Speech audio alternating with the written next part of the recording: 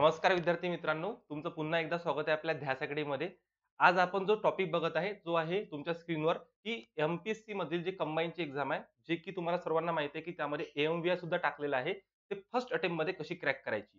आणि याचा जो शेड्यूल आहे तो आपण आज प्रॉपर प्लॅनिंग सोबत बघणार आहे. त्यासाठी तुम्हाला काही गोष्टी माहीत असणं खूप गरजेचं आहे. तर ह्या व्हिडिओला तुम्हाला शेवटपर्यंत बघायचं आहे जेणेकरून तुम्हाला प्रॉपर स्ट्रक्चर समजेल की कशा कशा प्रकारे आपल्याला प्लॅन करायचा आहे. कारण की पाच महिन्यानंतर आपली येणारी एक्झाम आहे. तर पाच महिन्यानंतर एक्झाम काढायची असेल तुम्हाला तर तुम्हाला समजून घ्यायचं आहे की कशा प्रकारे त्याचे स्टेप्स असतात. तर वेळ न घालवता आपण आपल्या व्हिडिओकडे जाऊ. तर बघा आता सर्वात पहिले थोडंसं तुम्हाला एक आयडिया येऊन जाईल की रफ आयडिया की कशा प्रकारे असतं. तर आपण व्हिडिओकडे जाऊ. तर बघा पहिली स्लाईड तुमच्यासमोर दिसत आहे. ठीक आहे? आता या स्लाईडमध्ये काय म्हटलेलं आहे? दो तीन गोष्टी तुमच्यासमोर दिल्या आहे. एक आहे मंथ सिलेबस आणि सब्जेक्ट. तर आपलं सर्वात पहिले कार्य बनते की किती महिने आपल्या एक्झामसाठी आहे. दुसरं किती सिलेबस आहे. तुम्हाला बऱ्याच जणांना सिलेबस माहीत नसते आणि अभ्यासाची सुरुवात आपण करून टाकतो. आणि त्यानंतर किती सब्जेक्ट आहे त्यामध्ये सिलेबसमध्ये किती सब्जेक्ट भरलेले आहे म्हणजे महिने मंथ सिलेबस आणि सब्जेक्ट याला तुम्हाला डिकोड करायचा आपल्याकडे किती टाइम आहे. हे टाइम समजून घ्यायचं आणि त्या टाइमनुसार तुम्हाला अभ्यास करायचा आहे. तर सर्वात पहिले आपण महिन्याला आपण डिवाइड केलेला आहे. ठीक आहे? तर आपण कोणकोणते महिने आहेत ते आपण नेक्स्ट स्लाइडमध्ये बघू. बघा आता. आपल्यासमोर हे महिने दिसत आहे. आता हे जे महिना तुमच्यासमोर दिसत आहे या महिन्यांमध्ये आपण एक एक गोष्ट समजून घेऊ. तर आज जो रेकॉर्ड आपण केलेला आहे व्हिडिओ हा तर आजची तारीख जर आपण बघितली तर आजची चोवीस नोव्हेंबर तारीख आलेली आहे. ठीक आहे? चोवीस नोव्हेंबर दोन हजार बावीस. म्हणजे आज सुरुवात झालेली आहे हा रेकॉर्डेड आता काही जण वेळाने बघणार हा व्हिडिओ तर त्यांच्यासाठी डेट वाढणार. तर वेळ आधीच कमी त्यामध्ये पण तुम्ही लेट जर बघितला तर आणखी कमी. डिसेंबर जानेवारी. जानेवारीमध्ये आपलं नोटिफिकेशन येणार आहे. नोटिफिकेशन केव्हा येणार आहे? नोटिफिकेशन हे येणार आहे जानेवारीमध्ये. व्यवस्थित समजून घ्या काय सांगत आहे तर लास्ट पर्यंत व्हिडिओ बघायचा आहे. नोटिफिकेशन जानेवारीमध्ये. आणि फेब्रुवारी मार्च आणि एप्रिल तर आपली जी एक्झाम आहे ती तीस एप्रिलला होणार आहे. ठीक आहे? तीस एप्रिलला आपली एक्झाम होणार आहे. आता तीस एप्रिलला एक्झाम आहे. नोव्हेंबरमध्ये आता बरेच विद्यार्थी जे आहे ना त्यांना हा जो नोव्हेंबरचा टाइम आहे आता नोव्हेंबरमध्ये आता येते एकच वीक राहिला आपल्याकडे. एकच वीक ठीक आहे? म्हणजे हा नोव्हेंबर पण संपून जाणार. म्हणजे डिसेंबर येऊन जाणार. डिसेंबरमध्ये मुलांना माहितच नसते पेपर येणार नाही येणार. कारण की एमपीसीनं सर्व सिलेबस शेड्यूल सर्व टाकलेलं आहे. मी सर्व तुम्हाला पुढे दाखवणार आहे. बुक्स कुठले वाचायचे कुठून रिडिंग चालू करायचं प्रॉपर कसं प्लॅनिंग करायचं सर्व सांगणार आहे. तर डिसेंबरमध्ये तुमचं काही ठरलेलंच नसते.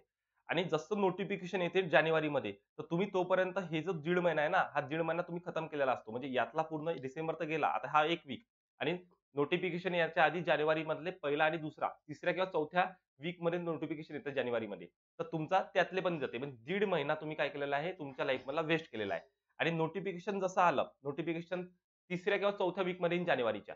तसंच सिलेबस तुमचे फॉर्म भरणं सुरू होऊन जातात. फॉर्म भरणं सुरू झाले की डॉक्युमेंट डॉक्युमेंट कोणते कोणते आणायचे आहे? काय काय लावायचं आहे? कसा फॉर्म भरायचा आहे? आणि मित्रांसोबत डिस्कशन क्लास लावायचे का? काय करायचं आहे? त्यामुळे तुमचा जानेवारी पण निघून जाते. आणि जानेवारीमध्ये मग तुम्ही फॉर्म वगैरे भरले की तुमच्याजवळ राहते फक्त दोन महिने. एक राहते फेब्रुवारी आणि दुसरा राहते मार्च. आता फेब्रुवारी मार्च मध्ये तुम्ही काय करता मग इकडचं पुस्तक घेऊ दे ते घेऊ दे तो तो घेऊ दे. आणि बुक्स कलेक्शन चालू असते आणि स्वतःचा मनाने अभ्यास चालू असतो. एक तर प्रॉपर प्लॅनिंग नाही आहे काहीच. आणि मग एप्रिल महिन्याची एक तारीख आली एक एप्रिल की मग कारण की नोटिफिकेशन मध्येच तारीख सांगली जाते की पेपर तीस एप्रिलला आहे. जशी एक एप्रिल आली की तुमच्या माइंडमध्ये असते की एप्रिल महिना आला. कारण की आपली एक ह्युमॅनिटी आहे ह्युमन बॉडी आहे थिंकिंग आपली कशी राहते?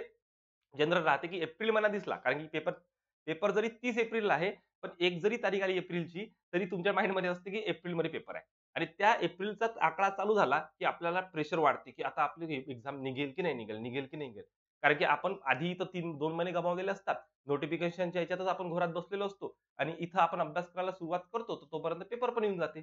आता आणि इथे नाही का तुम्ही बरेच जण खूप अभ्यास करतात. म्हणजे जानेवारी आणि मार्च मध्ये एवढा अभ्यास करतात की मला तीस एप्रिलची आय कंबाईन काढायचीच आहे. आता मला एक गोष्ट सांगा. मग याच्या आधी ज्यांनी अभ्यास केला ते काही तसेच बसले आहे का? किंवा याच्या आधी आणखी अभ्यास करत आहे खूप जण? त्यांचं काय?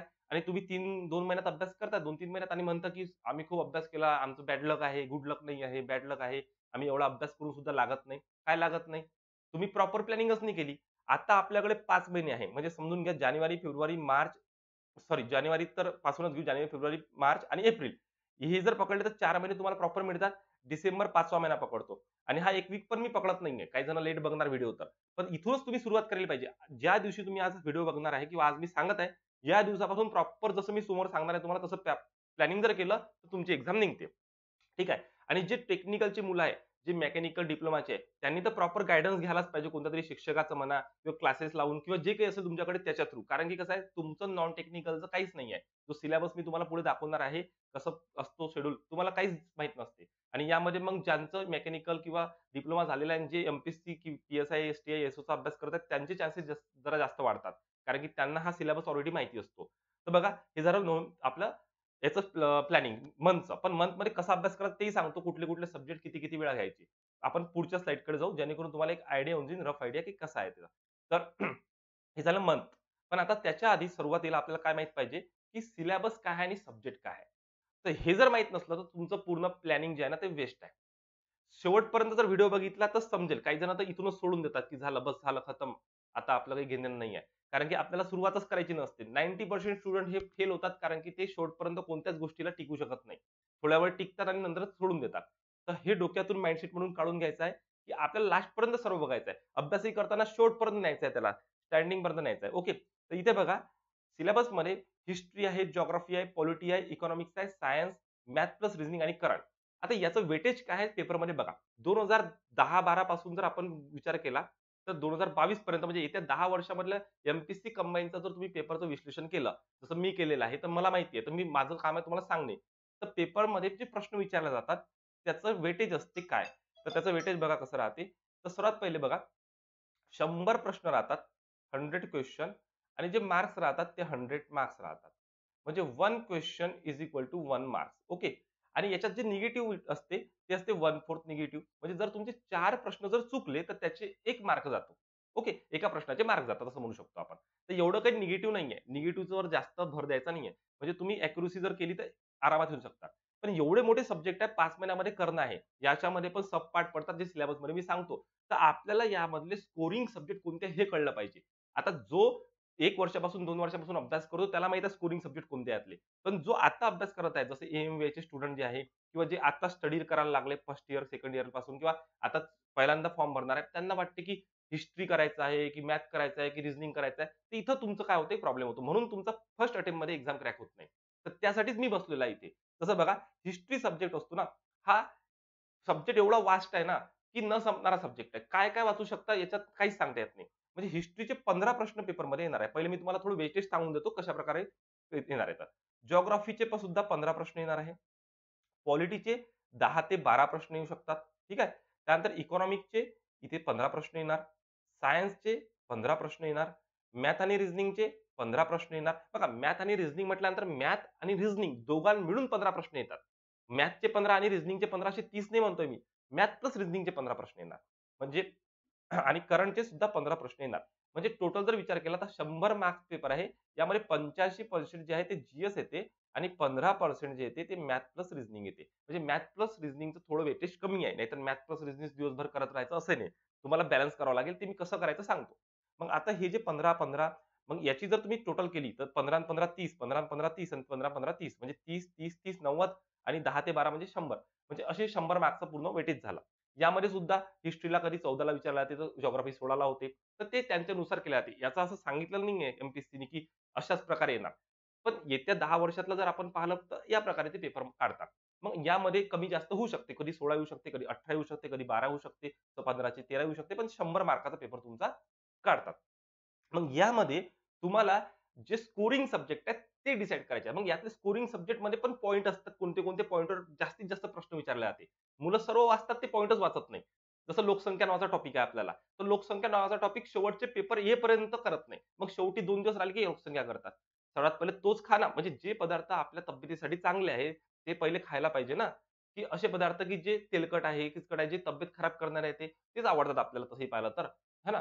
पाणीपुरी भेळपुरी ते जास्त आवडते. पण आपण फ्रुट्स खातो का? ऍपल वगैरे नाही आवडत. तर आता पाच महिन्यासाठी ते टाळा. पहिले आपल्याला जे पाहिजे ते खा. म्हणजे काय खायचं आहे आपल्याला? तर आपल्याला खायचं आहे जॉग्राफी कारण की जॉग्राफी मधले तुमचे fifteen out of fifteen marks मिळतात. ठीक आहे? दुसरं काय खायचं आहे आपल्याला? पॉलिटी खायचं आहे पॉलिटीमध्ये तुमचे जे पॉईंटनुसार सब्जेक्ट केले तर तुमचे मार्क्स जातच नाही. हा स्कोरिंग सब्जेक्ट आहे. त्यानंतर बघा इकॉनॉमिक्समध्ये पण समजा तुम्ही कन्सेप्ट क्लिअर असेल ना काही टॉपिक आहे ते मी तुम्हाला सिलेबसमध्ये दाखवतो तर तुमचे पंधरा पैकी बारा तेरा मार्क कसे पण येतात. ठीक आहे? त्यानंतर बघा सायन्स सायन्स नाही होत. सायन्स कसा डेंजरस टॉपिक आहे. पण आता मेन्सला सायन्स आलेला आहे कंबाईनच्या तर तुम्हाला सायन्स करणं भाग आहे. सायन्समध्ये पण टप्पे पडतात. ते मी डिटेल थोड्या वेळात घेतो.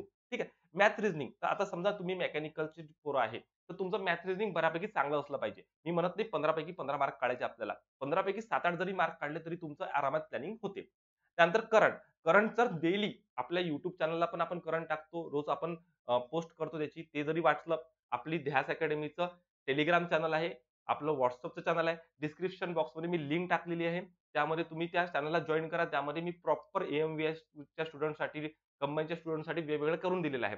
त्यामध्ये आपण प्रत्येक व्हिडिओ अभ्यास कसा अभ्यास कसा करावा लागतो किंवा काही करंटचे जे न्यूज असतात त्या सर्व आपण तिथं प्रोव्हाइड करतो. तर ते डिस्क्रिप्शन बॉक्स करून तुम्ही तिथं जॉईन होऊन जा. ठीक आहे? तर तिथं तुमचं करंटचं होऊन जाते. तर हे जे टॉपिक आहे हे तीन चार पाच हे जर तुम्ही व्यवस्थित केले तर हे तुमचे स्कोरिंग सब्जेक्ट असतात हे स्कोरिंग आणि जो हिस्ट्री सब्जेक्ट असतो किंवा जो सायन्स असतो हे स्कोरिंग म्हटले जाते आणि नाही म्हटलं जात. जर पेपरमध्ये हिस्ट्री जेवढं मी शिकवणार आहे क्लासमध्ये तेवढं जर तुम्ही केलं तर तुम्हाला पंधरापैकी पंधरा मार्क मिळणारच आहे. पण याच्यापेक्षा जर कठीण पेपर आला होऊ शकते तुम्हाला सात आठच मार्क मिळेल. मग पूर्ण महाराष्ट्रामधल्या विद्यार्थ्यांमध्ये सात आठ मार्क मिळेल. पण जेवढं मी सांगणार आहे तेवढं केलं तर पंधरा पेपर त्या लेवलचा तर पंधरापैकी पंधरा. सायन्समध्ये पण सेम जेवढं मी शिकवणार आहे तेवढं जर तुम्ही व्यवस्थित केलं तर तुम्हाला पंधरापैकी पंधरा मिळणार. पण पेपर जर लेवल वाढवली आणि सगळं मग त्यामध्ये जर तुमचे कमी मार्क्स आले तर असं समजून निघायचं घ्यायचं की मलाच कमी आले सायन्समध्ये मी कमी अभ्यास जास्त करून सुद्धा. पूर्ण अख्ख्या महाराष्ट्रामध्ये तेवढेच मार्क मिळणार. पण मुलांनी लक्षात ठेवा मुलं कुठे चुकतात ह्या जॉग्राफी पॉलिटी इकॉनॉमिक्समध्ये सुद्धा मग त्यावेळेस कमी मार्क काढतात. ज्यावेळेस तुम्हाला इथं पंधरा पैकी बारा तेरा मार्क काढायचे आहे तर काढायचेच आहे हे लक्षात घ्या. कारण की इथं तुम्ही कमी नाही करू शकत ते मार्क इथं तुम्हाला त्याच्यात कमतरता अंदाज येणार नाही. म्हणजे समजून घ्या शंभर मार्क्स पैकी जो कट ऑफ लागतो ओव्हरऑल मी दहा पेपरचा म्हणत आहे तुम्हाला एम व्ही आयचा धरून. एमव्ही याचा थोडा कमी लागू शकतो. कमी तर लागणारच नाही यावेळेस. ना सर्व पेपरचे जे कट ऑफ आहे ते हायच जाणार आहे. तर समजून घ्या पंचावन्न प्लस जर तुम्हाला मार्क्स मिळाले तर तुम्ही दहाही पेपरच्या मेसला राहणार आहे. दहाही पेपर म्हणजे कोणते? ग्रुप बी चे P S I S T I SO आणि सब ग्रुप सी चे ग्रुप सी चे कोणते कोणते? तर एक्साईज क्लर्क टॅक्स असिस्टंट आणि त्यामध्ये इंडस्ट्रियल इन्स्पेक्टर टाकला त्यांनी ते. चार चार आठ आणि एक जो टाकलेला आहे तो विमा अधिकाराचा नऊ आणि एएमव्हीआय हा शेवटचा दहावा. त्या दहाही पेपरमध्ये पंचावन्नपेक्षा जास्त जर तुमचे मार्क्स असेल प्रिलिमला तर तुम्ही दहाही पेपरच्या मेसला जाणार. म्हणजे तुमच्या क्वालिफिकेशननुसार जेवढे तुम्ही फॉर्ममध्ये क्लिक केलं त्या एकाच म्हणजे चारशे साडेतीनशे रुपयामध्ये तुम्ही तुमच्या क्वालिफिकेशननुसार सगळ्याच्या टिक करू शकता. ठीक आहे? आणि मग तुम्ही मेन्सची तयारी तुमच्या पद्धतीनं करा. जसं एएमव्हीआयसाठी टेक्निकलची करायला लागणार आहे आणि जे एएमव्हीआय नाही आहे त्यांना जे रेग्युलर हेच सब्जेक्ट करायला लागणार आहे. त्यामध्ये हिस्ट्री तर आणि बघा हिस्ट्री तुम्ही आता प्रिलिमला जरी जास्त केला तरी मेन्सला हिस्ट्री आहे का? नाहीये. मग इथे तुम्ही ते जास्त एफर्ट घेऊन कशालाच उगाच आपला टाइम वेस्ट करता. कारण की मेन्सला हिस्ट्री नाहीये. ज्यांचे नऊ पेपर आहे त्यांच्यासाठी बोलत आहे. मग हे सर्व सर्व तुम्हाला कळलं पाहिजे. हे बऱ्याच जणांना माहीतच नसते. मग यामध्ये जॉग्राफी पॉलिटीमध्ये काही सब पॉईंट असतात त्याच्यावर जास्त फोकस करावं लागते. जे क्लासमध्ये मी घेणारच आहे. ते क्लासमध्ये आपण प्रॉपर त्या पॉईंटवर त्याच्या शॉर्टकट ट्रिक्स कशा असतात ते आपण बघणार आहे. मग आता यासाठी तुम्हाला सिलेबस माहीत असणं गरजेचं आहे. बऱ्याच पोरांना नाईन्टी फाईव्ह पर्सेंट मुलांना सिलेबसच माहीत नसतो. फक्त जे अभ्यास करत राहतात कारण की जॉग्राफी पण न संपणार आहे पॉलिटी पण न संपणार आहे पण आपल्याला त्यातले स्पेसिफिक पॉईंट करायचे आहे जे मी क्लासमध्ये तर करूनच घेणार तुमच्याकडून. ते आपण आता पाहणार आहे सिलेबस आणि मग कुठे कुठून कुठून स्टार्ट करायचं बुक लिस्ट काय ते सर्व घेऊ. बघा आता विषय. तर मी सिलेबस याआधी पण क्लासमध्ये डिटेल घेतलेला आहे. जे आता व्हिडिओ बघत आहेत त्यांनी पण बघा. आपल्याला जे मी तुम्हाला दिलं होतं ना आता तेच आहे. बघा इतिहास आहे. पण इतिहासामध्ये म्हणजे आधुनिक भारताचा इतिहास आहे. म्हणजे आता तुम्ही प्राचीन वाचत बसणार आणि मध्ययुगीन वाचत बसणार तर मी काही करू शकत नाही. आधुनिक म्हटलं तर आधुनिक वाचायचं आहे. आणि विशेष म्हणजे काय? विशेषतः महाराष्ट्राचा इतिहास. फोकस केलाय महाराष्ट्राचा इतिहास. म्हणजे आधुनिक भारताचा इतिहास करायचाच आहे थोडाफार. पण विशेषतः महाराष्ट्रावर जोर करायचा आहे. नंबर पहिला. नंबर टू भूगोल. आता जॉग्राफीमध्ये बघा महाराष्ट्राचा भूगोल भूगोलाच्या विशेष अभ्यासाचा. इथं डायरेक्टली म्हटलंय महाराष्ट्राच्या भूगोलाच्या विशेष म्हणजे महाराष्ट्रावर जोर द्यायचा म्हणजे याचा अर्थ असा नाही की भारत करायचा नाही भारत करायचा आहे पण महाराष्ट्रावर जास्त प्रश्न विचारणार. त्यामध्ये बघा पृथ्वी जागतील जगातील विभाग हवामान अक्षांश आणि रेखांश महाराष्ट्रातील जमिनीचे प्रकार. बघा इथं मेन्शन केलाय डायरेक्ट जमिनीचे प्रकार म्हणजे हे करावेच लागणार आहे. हवामान करावंच लागणार आहे. अक्षांश आणि रेखांश करावंच लागणार. याच्यावर प्रश्न येणारच. पर्जन्यमान प्रमुख पिके शहरे नद्या उद्योगधंदे इत्यादी. म्हणजे तुमचं काम काय? भूगोल करताना पहिले हे जे टॉपिक दिलेले आहे हे पहिले करायचेच आहे. म्हणजे जे पंधरा प्रश्न येणार आहेत त्यातले दहा प्रश्न याच्यावर असणार आहे. उरलेले पाच जे आहे ते इत्यादीवर असणार आहे. ठीक आहे इत्यादीवर असणार आहे. मग त्यामध्ये बाकीचे इतर टॉपिक आहेत ते पण मी इम्पॉर्टंट इम्पॉर्टंट टॉपिक तुम्हाला सांगणारच आहे. पण इथे एवढे टॉपिक तुमचं करणं काम बनते. तुम्ही हे सोडून सर्व करता बाकीचं. ठीक आहे? जगही करून टाकता. तर इथं सिलेबसला काय म्हटलंय ते पकडून चला. त्यानंतर अर्थशास्त्र इकॉनॉमिक्स यामध्ये भारतीय अर्थव्यवस्था. त्यामध्ये राष्ट्रीय उत्पन्न पहिलाच टॉपिक असतो. शेती उद्योग परकीय व्यापार बँकिंग लोकसंख्या. बघा लोकसंख्या म्हटलं होतं मी. दारिद्र्य व बेरोजगारी मुद्रा आणि राजकोषीय नीती इत्यादी. म्हणजे हे पहिले टॉपिक तुम्हाला इकॉनॉमिक्सचे करायचे नंतर इत्यादीमध्ये जे इम्पॉर्टंट टॉपिक असतात, जे मी त्याच्यावर एक स्पेशल इम्पॉर्टंट लेक्चरवर स्पेशल व्हिडिओ बनवलं. ते तुम्हाला स्पेशल सांगेल. पण हे तर इम्पॉर्टंट आहे ना, पहिले हे करा, जे सिलेबसला आहे. त्यानंतर शासकीय अर्थव्यवस्था येते. त्यामध्ये अर्थसंकल्प, लेखा, लेखापरीक्षण इत्यादी ज्याला बजेटचं सेक्शन म्हणतो आपण, बजेट ते करायचं आहे.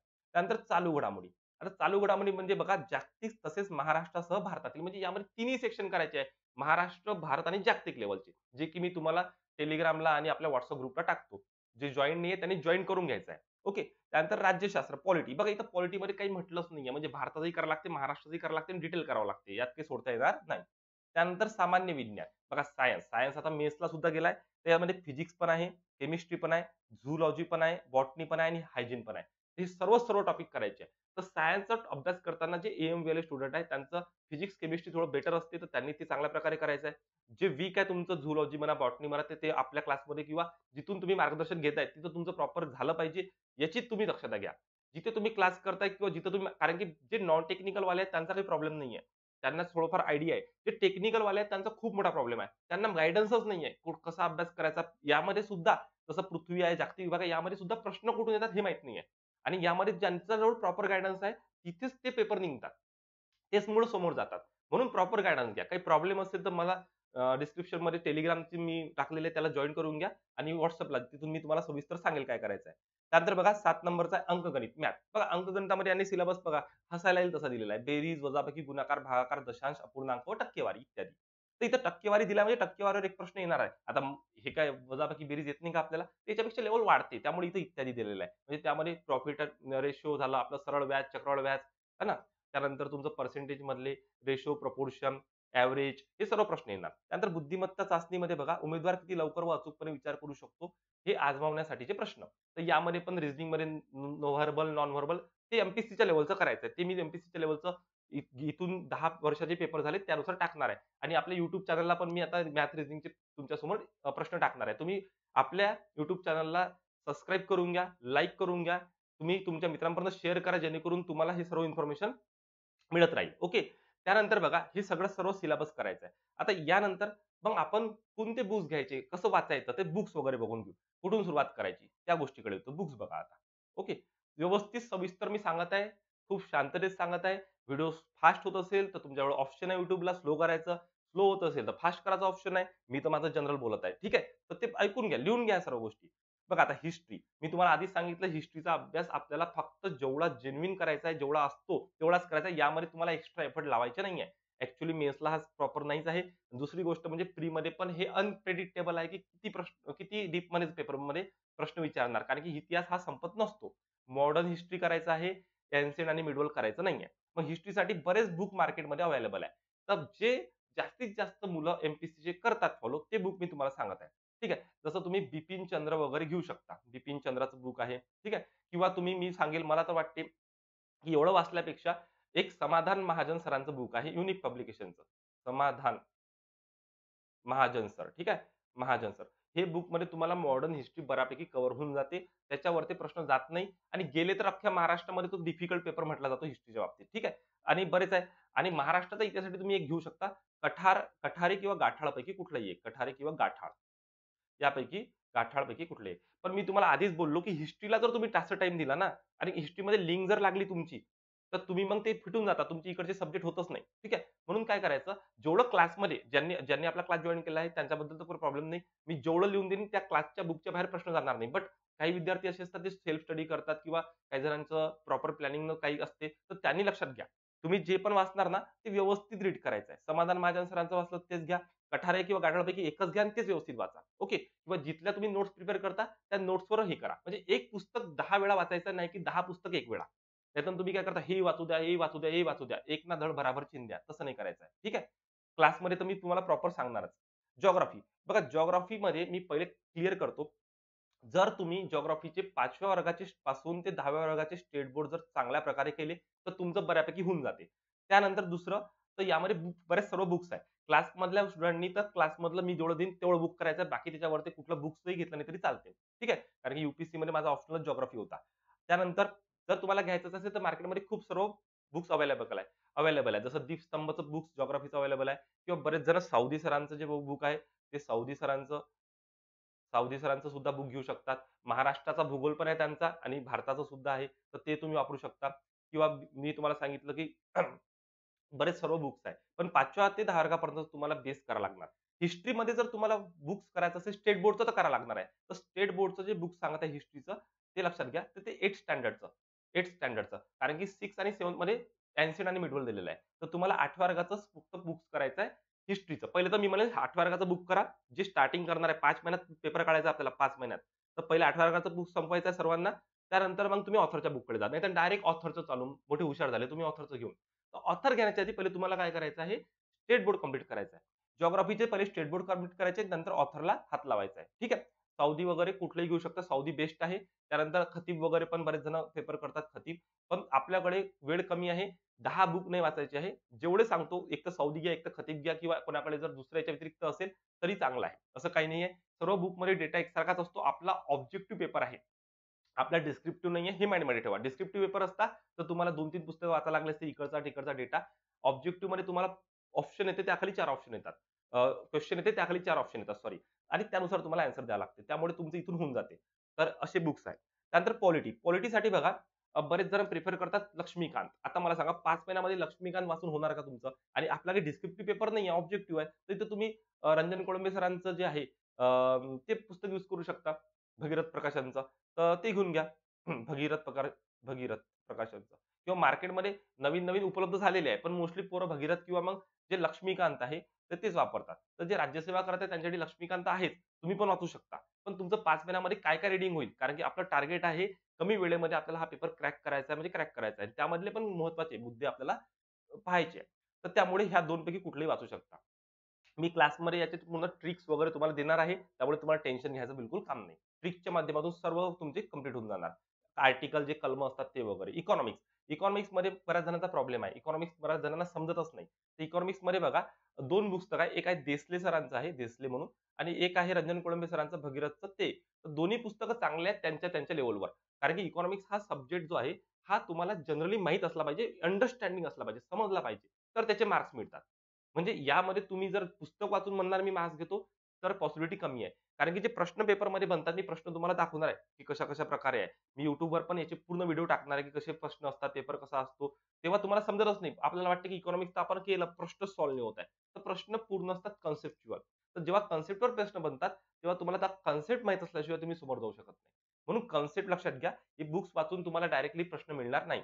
हा बेरोजगारी, दारिद्र्य, गरिबी त्याची आकडेवारी तुम्हाला पाठ करावी लागते, जे की मी ट्रिकच्या माध्यमातून तुम्हाला शिकवतो. सर्व ट्रिकच्या माध्यमातून कसे लक्षात ठेवायचे, काही स्मार्ट वर्क असते ते आपण करणार आहे. तर इथं तुमचे मार्क जाणार नाही. मी तुम्हाला आधीच म्हटलं जॉग्राफी पॉलिटी आणि इकॉनॉमिक्स यामध्ये तुम्हाला 12 ते 13 मार्क घ्यायचे म्हणजे घ्यायचे आहे. ठीक आहे. त्यानंतर सायन्स. सायन्समध्ये स्ट्रिक्टली सांगतो मी तुम्हाला स्ट्रिक्टली हे बिलकुल तुम्ही फॉलो करायचं आहे.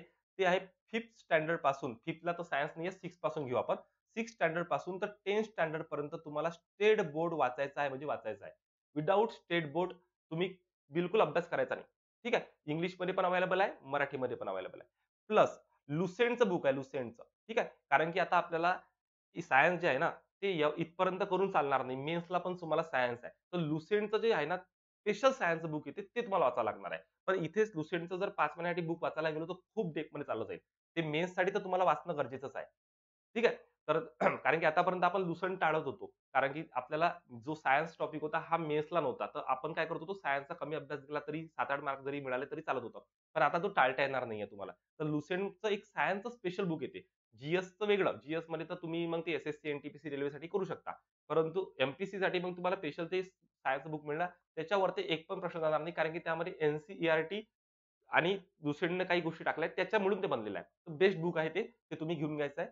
ते तुम्हाला मिळून जाईल. इंग्लिश लँग्वेजमध्ये मिळणार तुम्हाला ते. ठीक आहे. किंवा मग महाराष्ट्रासाठी मार्केटमध्ये बऱ्याच पुस्तकं आहे. मग त्याच्यातले तुम्ही कुठलेही घेऊ शकता. पण मी तर म्हणेल लुसेंट. आता तुम्हाला लेव्हल वाढवा लागणार आहे. त्यानंतर मॅथ रिझनिंगसाठी बघा. मॅथ रिझनिंग हे तुमच्यावर असते. जसं मी क्लासमध्ये म्हणत असतो, मॅथ रिझनिंगसाठी तुम्ही भारतातली कोणतंही पुस्तक घ्या. फक्त मेथड आपल्या क्लासच्या वापरा. कारण की मॅथ रिझनिंग हे आहे पूर्णपणे शिकवण्याच्या पद्धतीवर. जसं तुम्ही कोणतं पण घेऊ शकता. जसं आता सध्या महाराष्ट्रामध्ये फास्ट ट्रॅक आहे, अभिनव प्रकाश आहे. तर कुठलंही घ्या. पण माझं म्हणणं आहे की जर कोणी क्लासला असेल तर त्यांनी फक्त क्लासच करायचं आहे.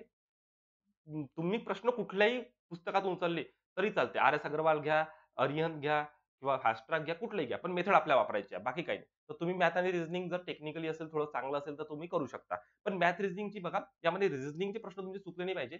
मॅथचे तुमचे कारण की बघा एक तास मिळतो फक्त पेपरला. एका तासामध्ये तुम्ही किती प्रश्न सॉल्व्ह करता याच्यावर डिपेंड करते सर्व गोष्टी. ओके. तर तुम्ही जर एका तासापर्यंत इथपर्यंत पोहोचले पाहिजे. त्यासाठी आपण टेस्ट पेपर घेणार आहे. त्याची पण तुम्हाला मी लिंक वगैरे देऊन देईन. आपलं ॲप आहे प्ले स्टोअरला एमपीएससी ध्यास अकॅडमी. त्यामध्ये सर्व मी क्रिस्टल क्लिअर करून दिलेलं आहे कसं करायचं आहे आणि व्हिडिओ पण येणार आपले. तर टेस्ट सिरीज लावायची टेस्ट सीरीज मस्ट असते. ओके. त्यानंतर करंट. करंट जे आहे, ते करंट खूप इम्पॉर्टंट आहे. खूप इम्पॉर्टंट तर मी त्याच्यासाठी पहिलेच सांगितलं, की टेलिग्रामला जॉईन होऊन जा, व्हॉट्सअपला जॉईन होऊन जा. तिथून तुम्हाला प्रॉपर करंट कारण की करंट नाही का, एवढे करंटचे व्हिडिओ युट्यूबला टाकलेले आहे लोकांनी, की असं वाटतं हे करू की ते करू की ते करू. युट्यूबचा अभ्यास टोटली बंद करून टाका. युट्यूबवरून बघा, फक्त आपण काही गोष्टी घेऊ शकतो, पण युट्यूबवरून अभ्यास होत नाही. कोणताच अधिकारी हा युट्यूबवरून बनत नसतो. एक स्वतःला तुम्हाला सेल्फ स्टडी करायला लागणार आहे. पाच महिन्यात जर एक्झाम काढायची असेल तर किंवा कुठल्या क्लासेस सोबत जॉईन व्हावं लागणार आहे किंवा स्वतःला एका प्रॉपर सिलेबसमध्ये किंवा प्रॉपर त्या टाईम टेबलमध्ये स्वतःला गुंतवा लागणार आहे, जेणेकरून तुमचे पेपर निघेल. ठीक आहे. युट्यूबच्या भरोश्यावर तुमचा पेपर निघणार नाही आहे हे मी तुम्हाला आता क्लिअर सांगत आहे. मी जरी युट्यूबला सांगत आहे, तर ह्याच्यासाठी सांगत आहे, की तुम्ही प्रत्येक वेळेस युट्यूबला येता. मग करंटचे वेगवेगळे जण वेगवेगळे व्हिडिओ टाकतात. तर तसं नाही. ते एम-पी-एस-सीमध्ये जे करंट विचारते ते मी तुम्हाला सांगणार आहे. ते मी युट्यूब युट्यूबला टाकणार आहे म्हणून सबस्क्राईब करून घ्या चॅनलला. प्रॉपर तेच. कारण की खूप मोठं भारूड आहे. एवढं मोठं करंट आहे ना, की संपतच नाही. जगाचं वाचा, की महाराष्ट्राचं वाचाल, की भारतात वाचाल, तर इथून तुम्हाला ते प्रॉपर मिळून जाईल. काही बुक्स आहेत, जसं सिम्प्लिफाईड नावाचं बुक आहे. तर ते मार्केटला अवेलेबल आहे. ते तुम्ही घेऊ शकता. ते मंथली पण येते. ठीक आहे. काही मंथली मॅगझिन येतात, त्या पण तुम्ही वाचू शकता करंटसाठी, जे की पूर्ण महाराष्ट्र वाचते. ठीक आहे. सिम्प्लिफाईड बेस्ट आहे. सिम्प्लिफाईडमध्ये त्यांनी थोडंसं चित्रामध्ये दाखवलेलं आहे. तर मी ते तुम्हाला रेफर करायला लावेल. ठीक आहे. तर हे करंटचं. बाकी करंट जे आहे ते क्लासमध्ये मी घेणार. टेस्टच्या माध्यमातून पण घेणार, तर ते. तर एवढे सब्जेक्ट तुम्हाला प्रॉपर करायचे. मग ह्यामध्ये मी तुम्हाला आधीच बोललो, की जॉग्रॉफी पॉलिटी, इकॉनॉमिक्स आणि करंट हे तुम्हाला प्रॉपर करायचे आहे. यामध्ये पण सब पॉईंट पडतात. तर तुम्ही काय करायचं, आता किती दिवस किती वेळ अभ्यास करायचा? बघा, त्यामध्ये पण थोडंसं 5-10 मिनिटं बोलून घेऊ आपण, म्हणजे तुम्हाला सर्व कळून जाणार. तर इकडे वरती येऊ आता आपण. थोडंसं हे दाखवून देतो तुम्हाला. मार्किंग इथं यायचं आहे. तर इथं बघा, आपल्याला काय करायचं आहे, एवढे सगळे सब्जेक्ट आपल्याला 55 मार्क्स काढायचे जॉग्रॉफी पूर्ण टॉप लेवलचं करायचं आहे. जिओग्राफीमध्ये तुम्हाला मिनिमम 11 मार्क आले पाहिजे. बघा, मी 15 पैकी 15 पकडत नाही, फक्त अकरा म्हटलेला अकरा तरी तुम्हाला मार्क्स आले पाहिजे. इथे लिहितो 11. 11 ते 12 तर आलेच पाहिजे. ठीक आहे. पॉलिटीमध्ये तुमचे दहा प्रश्न जर आले समजा, तर तुम्हाला इथं आठ ते नऊ मार्क्स आलेच पाहिजे. तुमचे पॉलिटीचा एक पण मार्क गेला नाही पाहिजे. ठीक आहे.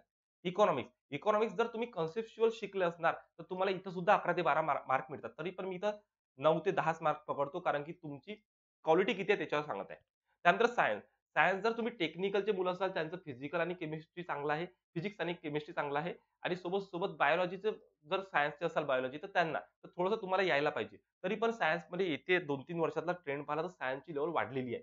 त्यामुळे सायन्समध्ये आपण कमी जरी मार्क घेतले, तर आठ ते नऊ तुम्हाला इथं मार्क्स मिळाले पाहिजे. ठीक आहे. मॅथेमॅटिक्स आणि रिझनिंग. तर टेक्निकलचे मुलं असणार, तर इथं तुमचा प्लस पॉईंट आहे. इथं तुम्ही दहा पर्यंत दहा ते 11 पर्यंत जाऊ शकता. जे नॉन टेक्निकलचे आहे, ते इथं कमी घेणार. तर तुम्ही सायन्समध्ये किंवा हिस्ट्रीमध्ये ते ताणणार, म्हणजे तिकडे ओढणार मार्क्स. ओके.